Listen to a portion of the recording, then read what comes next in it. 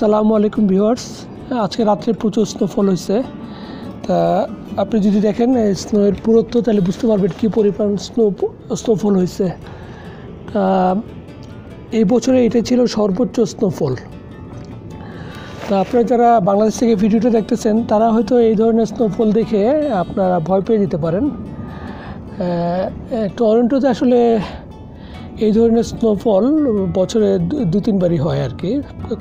যেই এরকম না যে কন্টিনিউয়াস এই ধরনের স্নো পড়ে, মাঝে মাঝে এরকম স্নোফল হয়। যে আমি গত নয় বছরে যে ক্যানাডাতে আছি, কোনো কোনো বছরে আমি দেখলাম শুধু একবার এই ধরনের স্নোফল হয়েছে, কোনো বছরে দুইবার, কোনো বছর তিনবার।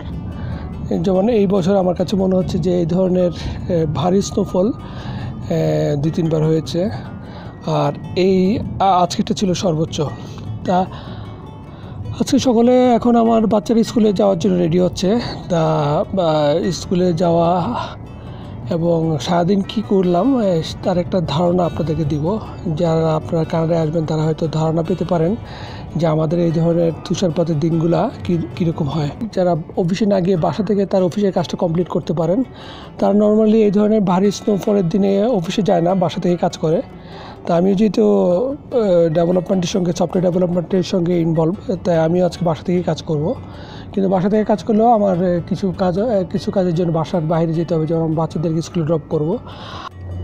দেখতে পাচ্ছেন কি অবস্থা। আমার ড্রাইভারটাও আমাকে পরিষ্কার করতে হবে। তবে গত কয়েক বছর আমি নিজে ড্রাইভার নিজে পরিষ্কার করেছি। আপনারা হয়তো আমার প্রিভিয়াস ভিডিওগুলোতে এগুলো দেখেছেন। এবছরও ম্যাক্সিমাম ক্ষেত্রে আমি নিজের ড্রাইভার নিজেই পরিষ্কার করেছি। তবে বেশ লাস্টের কয়েকটা স্নোফলে আমি একজনকে কন্ট্রাক্ট দিয়ে দিয়েছি। সে এসে আমার এটা স্নোটা পরিষ্কার করে দেবে। নর্মালি বিশ ডলার নেয়। এই ধরনের যদি ভারী স্নোফল হয়, তাহলে সে পঁচিশ ডলার নেয়।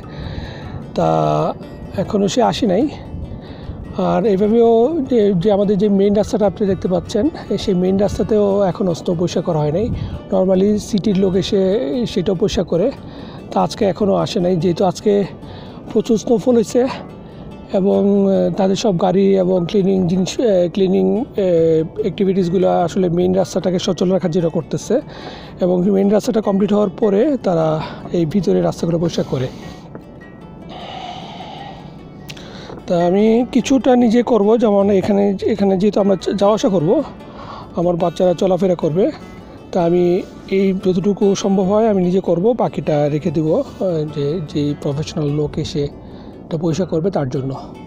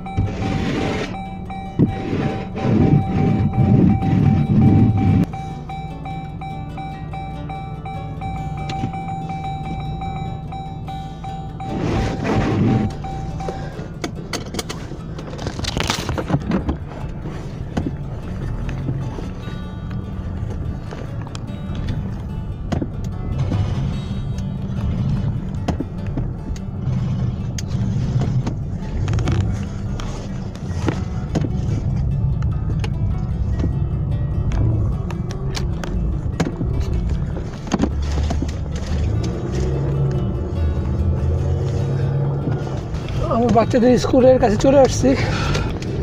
যদিও খুব কাছেই স্কুলের ডিস্টেন্স তারপর যেহেতু খুব তুষার পড়ছে, বাইরের টেম্পারেচার এখন মাইনাস ফাইভ ডিগ্রি তাই আমি তাদেরকে ড্রপ আপ করতে আসলাম। আর যেহেতু বাসায় আছে আজকে। অলরেডি স্কুলের ভিতরে বাচ্চারা ঢুকে গেছে।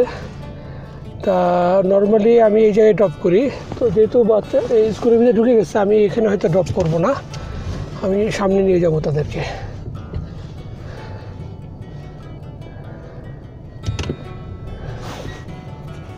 অনেক মহিলা তো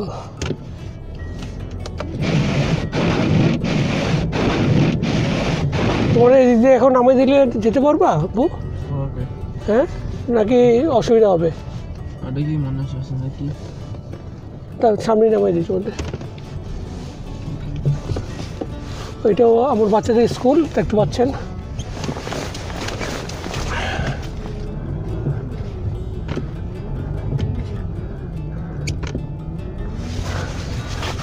এখানে নর্মালি এইখানে আমি ওদেরকে ড্রপ অফ করি। তারপরে এখানে ওরা লাইন ধরে, তারপরে ওই কিছু পিটি হয়, তারপরে ওরা ঢুকে ভিতরে।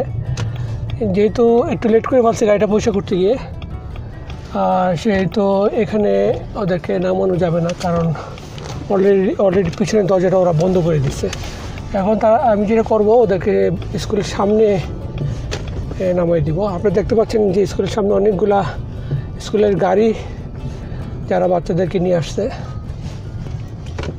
আমি এখানে ওদেরকে ড্রপ অফ করব।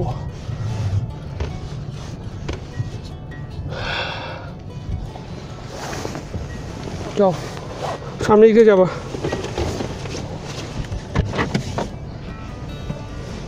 নাবিদ ওকে প্রথমে এই রুমে দিয়ে আসব তারপরে তুমি যাবা তোমার ক্লাসে আসলে আমি একটু লেট করে ফেলছি গাড়িটা পরিষ্কার করতে গিয়ে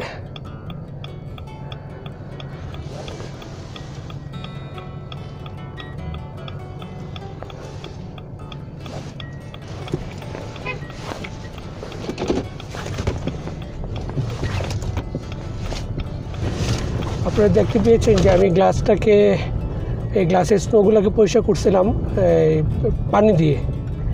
তা এটা ফলো করতে যাবেন না, কারণ এটা আসলে অনেকে রিকমেন্ড করেন না, কারণ এটাতে যেটা হয়, আপনার গ্লাস গ্লাস পেটে যেতে পারে। যদি পানি টেম্পারেচার খুব লো থাকে, আর পানি টেম্পারেচার যদি হাই থাকে তাহলে যেটা হয় যে আপনি যদি পানিটা ইউজ করেন, হয়তো গ্লাসটা ফেটে যেতে পারে। তাছাড়া পানি গাড়ির বিভিন্ন ভিতরে ঢুকে সেখানেও আপনাকে ক্র্যাক তৈরি করতে পারে।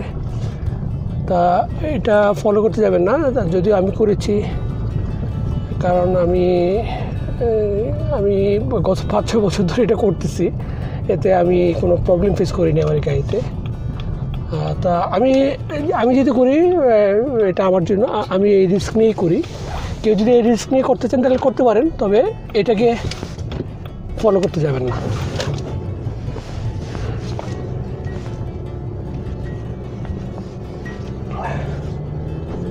আর গাড়ি গ্লাস এইভাবে ঠিকমতো পরিষ্কার না করে যে গাড়িতে, গাড়িটা বের করেছি, এটাও ঠিক হয়নি। কারণ এটা দেখলেও পুলিশ আপনাকে অনেক সময় টিকিট দিতে পারে। কিন্তু যেহেতু আমার টাইম ছিল না, বাচ্চাদের স্কুল অলরেডি শুরু হয়ে গেছে, তাই আমি এই অবস্থাতেই বের হয়ে গেছি।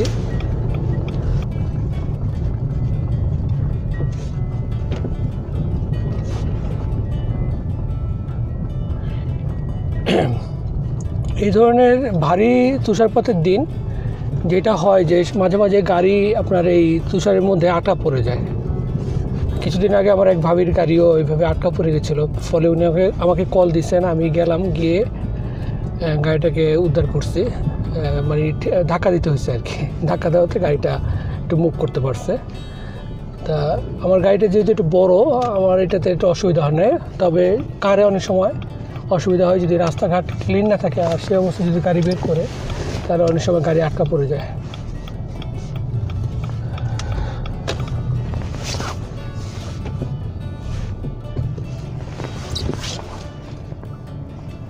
গাড়িটাকে আপাতত রাখলাম, কারণ একটু পরে এখান থেকে মুভ করব, কারণ আমার তুষা পয়সা করতে লোক আসবে। ভিউয়ার্স দেখেন, আমাদের রাস্তার স্নোগুলা কীভাবে পরিষ্কার হচ্ছে।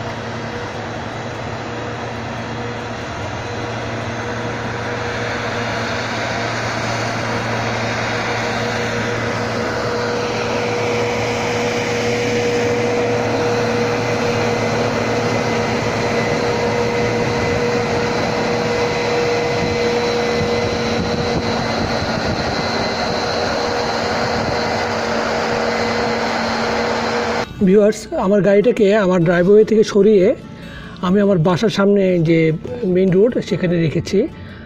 কারণ আমার ড্রাইভওয়েটাকে এখন ক্লিন করা হবে।